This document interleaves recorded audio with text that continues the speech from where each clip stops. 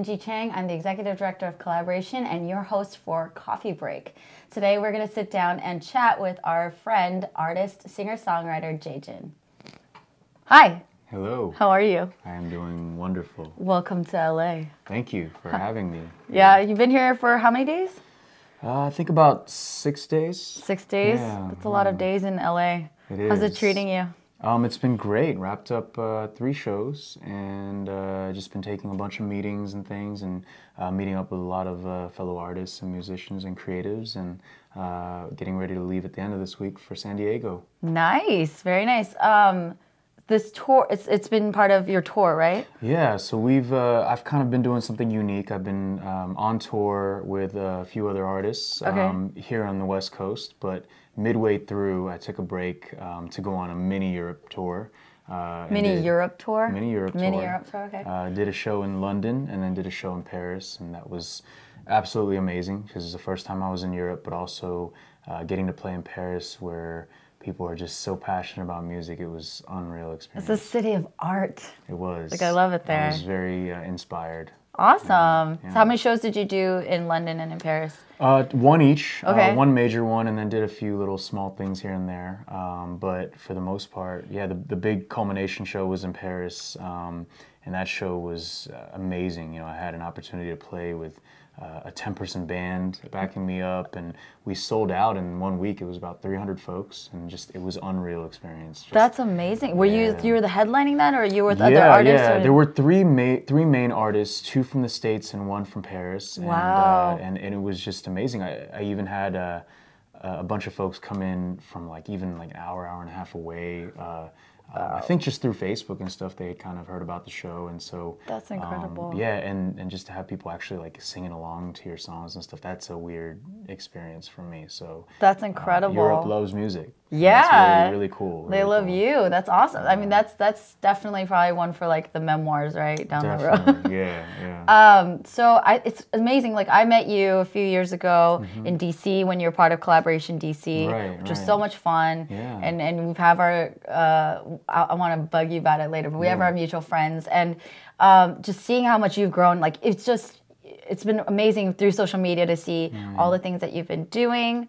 Um, so that was what two years ago. Yeah, yeah, two years What ago. have you? What what amazing. happens? It's like, can you give us the summary of like the last couple of years you're doing your independent artist yeah, life? Yeah, What's so that been you like? know, it's been it's been a whirlwind. I mean, I, I've been a professional musician for about a year now, and prior to that, you know, I had been kind of going the career trajectory route. Um, was supposed to start an MD MBA program, uh, do like med school, business school, and then I became every Asian parent's worst nightmare by walking away from that. From and- that, like and- you're going there and then you stop. and just choose something completely risky and close to impossible. But um, the journey's been amazing. I think the the uh, where I attribute a lot of that is just this uh, this willingness to stick to my autonomy and, and hold control over uh, the things that are creative and try to do things in my own way rather than kind of um, aligning with industry or whatnot. But uh, it's just kind of finding that balance. And That's so, hard. Yeah, I I, mean, I, yeah. yeah, a year and a half ago, um, moved up to New York City,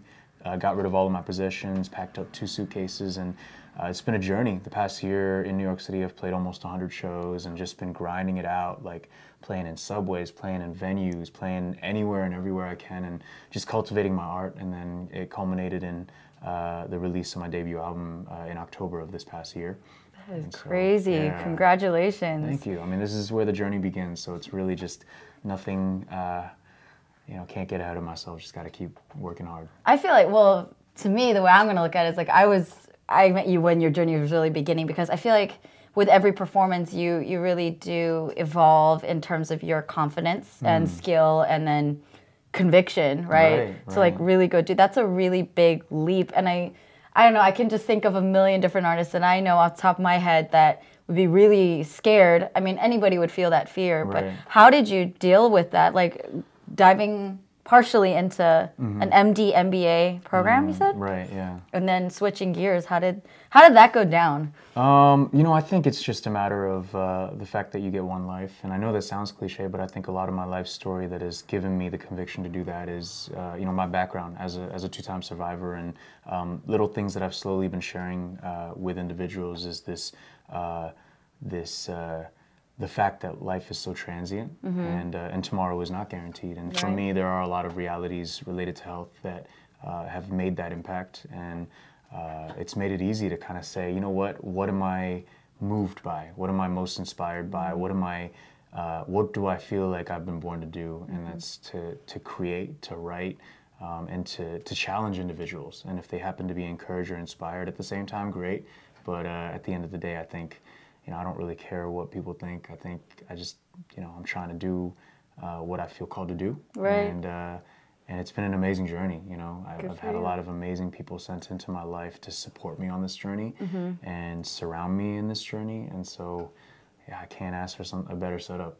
you know. Well, you know, they say that, you know, when you follow your heart's true purpose, or uh, it's like, it's a, it's a mix of the alchemist Hmm. and the law of attraction or the secret, whatever. But it's, you know, the universe works in, con, you know, with you. Hmm. Yeah, it conspires. to conspires to, together. make Yeah. things happen, which is really amazing. So, how old were you when you went through, you know, the, all the health issues that kind of really Right, right. shifted your focus and So perspective? the first time that I was ill um, at the age of 17 was when I was diagnosed with at the they considered a terminal illness. So Mm-hmm. they gave me two months to live, and I actually underwent an experimental chemotherapy. Okay. And so even during that time, I mean, it was the odds were stacked against me. Yeah. Um, but you know, by God's grace, I, I uh, got out. And uh, prior to that, I had so many goals and things that um, that I had, and what you realize in life, and, and I think many people, even watching this, will know things don't always go according to plan. But sometimes when you just kind of stay the route and, and keep fighting and get through, then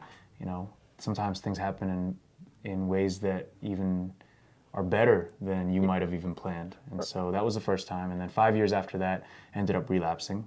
Um, And then after the relapse, I had a few other um, health hiccups and other things that you know that I count as obstacles that were really just things that I needed to kind of push through and get to where I uh, find myself now. Wow.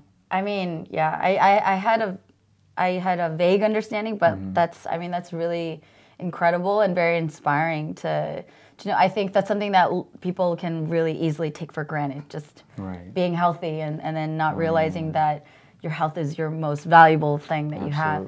So diving back into what you were sharing really about your journey as an independent artist. I mean, that is something it's like a holy grail or it's like this like Mm-hmm. concept that I think people really struggle with thinking about Hollywood or thinking about how they have to alter themselves, right? You're talking Right. about right.